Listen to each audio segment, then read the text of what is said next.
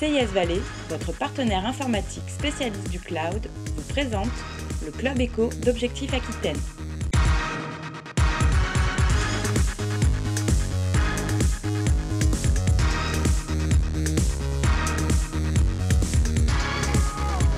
Bonjour et bienvenue dans cette nouvelle émission du Club Éco d'Objectif Aquitaine. Merci de nous rejoindre aujourd'hui en compagnie de Didier Paul Armand. Bonjour. Bonjour. Vous êtes le président de l'Union des maisons françaises en Aquitaine. Parlons de l'UMF pour démarrer. Peut-être qu'on ne se rend pas bien compte du poids économique de l'Union des maisons françaises. Est-ce que vous pouvez nous en parler C'est l'occasion effectivement que vous me donnez de, situer à peu près l'Union des maisons françaises euh, au niveau national et au niveau, et au niveau aquitain. La, la, maison correspond à peu près à 60% de ce qui est fait en matière de, de logement neuf en France. C'est exactement énorme. C'est un pourcentage tout à fait énorme. Selon les années, 140 à 180 000 euh, maisons.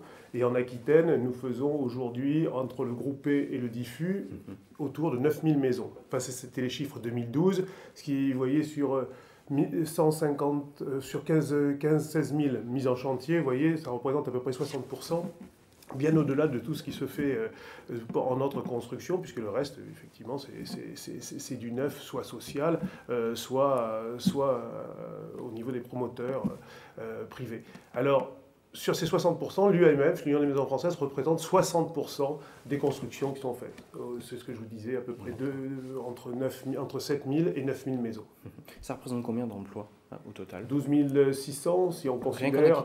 Uniquement en Aquitaine, si on considère qu'une une maison, c'est un emploi, quatre euh, direct et indirect, c'est-à-dire entre les, employés de nos sociétés et, les sous-traitants. Au-delà, bien sûr, il y a les emplois induits, bien évidemment, qui ne sont pas comptés là-dedans. 12 600 emplois. D'accord. Alors, on va parler des tendances, on va parler argent, on va parler des budgets, on va parler de l'économie en, règle générale pour le secteur. Mais avant, j'aimerais qu'on parle d'un événement qui aura lieu le 21 et le 22 septembre au Parc des Expositions de Bordeaux. C'est le quatrième salon de la Maison Neuve. Que peut-on en dire? Combien d'exposants, combien de visiteurs attendez-vous durant cet événement? Eh bien, écoutez, le plus de visiteurs possible. L'année dernière, on était autour de 5000 visiteurs. On mhm. espère que cette année, puisque ce format a l'air de plaire, puisque ça fait longtemps qu'on fait le salon de la maison individuelle, mais depuis 4 ans, c'est la quatrième année qu'il s'appelle Salon de la Maison Neuve. Et cette année, c'est d'autant plus vrai que nous avons invité d'autres euh, euh, exposants, donc on sera à peu près autour de 80-85 exposants qui, ne sont pas forcément membres de l'Union des maisons françaises. Aujourd'hui, c'est la nouveauté, pardon, je vous coupe. C'est la nouveauté. Ah, c'est tout à fait. C'est nouveau. Donc ça veut dire qu'il y aura des, des, des, des architectes s'ils le, si, le veulent, il y en aura d'ailleurs, et puis d'autres constructeurs. La seule, la, la, la, seule obligation sera de construire dans le cadre du, de, du contrat de construction en loi de 90, voilà, pour sécuriser parfaitement l'offre auprès du public. D'accord. Donc j'espère que cette nouveauté qui sera affichée euh, euh, plus proche du, salon, bien évidemment, mhm. euh, contribuera à, avoir un peu plus de nombre de visiteurs. D'accord. On va parler un peu des tendances, si vous le voulez bien. Vous annoncez la fin de l'idéal pavillon, gazon, rocade, Sainte-Trinité. C'est une, idée qui est révolue maintenant, la jeune génération euh, est passée, euh, passée à autre chose. À quoi est-ce qu'elle aspire cette euh, nouvelle génération d'acquéreurs eh bien justement, le, salon de la maison individuelle cette année ne fait pas, le salon de la maison neuve n'aura pas de, de, de, spécificité au, niveau technique. L'année mhm. dernière, on a fait l'ART, l'ART 2012, ça y est, c'est fait, nous sommes en 2013, tout à fait, au niveau de la réglementation thermique. Bon, se projeter en 2020 aujourd'hui, compte tenu d'un climat euh, économique incertain, ce serait quand même euh, de la science-fiction. En ce qui mm. concerne par contre euh, l'attente, les écoutes de, des primo-accédants, qui sont aujourd'hui toujours en attente pour pouvoir construire, et puis surtout les, les secondo-accédants, puisque primo, on considérera donc qu'il y a secondo, à ce moment-là, on est là pour non seulement rassembler euh, sur, des forums euh, ce qu'ils souhaitent, ce qu'ils, nous disent, mais aussi leur faire des propositions concrètes de, vie. Donc avec la modularité de la maison individuelle, ce qu'elle représente en tout cas, en forme, en forme d'espace, euh, c'est vraiment l'occasion pour eux de s'exprimer, pour nous de les entendre, pour nous de proposer plutôt que de parler purement technique. D'accord. Donc le pavillon urbain finalement est un peu passé de mode. On observe quand même un rapprochement visiblement vers le, vers le centre-ville. Ou alors justement, ça devient. Tendance, euh, Ou alors ça devient plutôt le, le, le, pavillon urbain. Non, les, moi je crois que c'est Bien sûr, il y a une tendance aujourd'hui d'investir les, villes euh, avec, avec le pavillon. Et bien qu'on n'investit pas les villes exclusivement avec de, la verticalité, avec la maison individuelle qui correspond à un facteur tout à fait euh, efficace de densification urbaine. On l'oublie très souvent, la maison fait partie de la densification urbaine et surtout, ce n'est pas à Bordeaux, je peux dire. Les pouvoirs publics l'oublient tout particulièrement? Ah, mais ils ne l'oublient pas. Il l'ignore. D'accord. Il l'ignore, il passe euh, parfaitement à côté, alors que dans une ville comme Bordeaux, ce qui est ahurissant, elle a été entièrement lotie avec des échoppes dans le cadre mhm. d'une densification extrêmement efficace et heureuse pour les gens qui habitent. Bon, là-dessus, donc, on fera, euh, bien sûr, nous, nous sommes acteurs euh, des propositions auprès des pouvoirs publics, mais le salon, lui, s'adresse essentiellement aux particuliers et nous sommes capables de construire sur 201 mètres carrés de terrain une maison de R plus 1 qui correspond aux attentes d'aujourd'hui, un mode de vie euh, des gens qui souhaitent revenir, plutôt un petit peu plus revenir sur le centre-ville. il faut quand même savoir que c'est une partie importante de notre activité, mais 85% du département de la Gironde et en gros de l'Aquitaine, c'est la zone C, c'est-à-dire le périurbain et, le, et la campagne, très clairement. Hein. La zone C. Le, la, zone B2 dont nous parlons, Bordeaux euh, et la Cube, en, règle générale, euh, c'est, reste quand même relativement marginal dans mmh. notre, dans, dans, notre activité. Mais quand même, quand même, il y a une tendance. Les gens veulent de la maison, ils veulent de la maison, il faut, que, il faut qu'on puisse y répondre et surtout que les pouvoirs publics nous libèrent un petit peu de terrain. D'accord.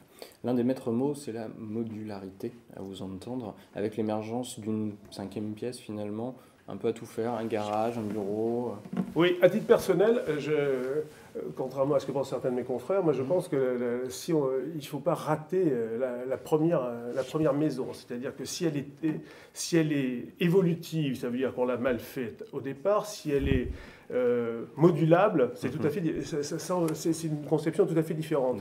C'est-à-dire que l'aménagement, on l'a dit souvent, du garage ou l'extension possible à partir de la maison, il faut y penser en, amont, dans la mesure où c'est un projet. Hein. mais c'est surtout expliquer à l'intérieur, comment vivre à l'intérieur de chacune des, pièces. elles sont toutes attribuées, bien évidemment, au départ. Euh, je ne parle pas des, des, blocs sanitaires, salles de bain, etc. Mais en ce qui concerne la cuisine, de plus en plus, sa taille devient, devient importante. On reçoit dans, la cuisine.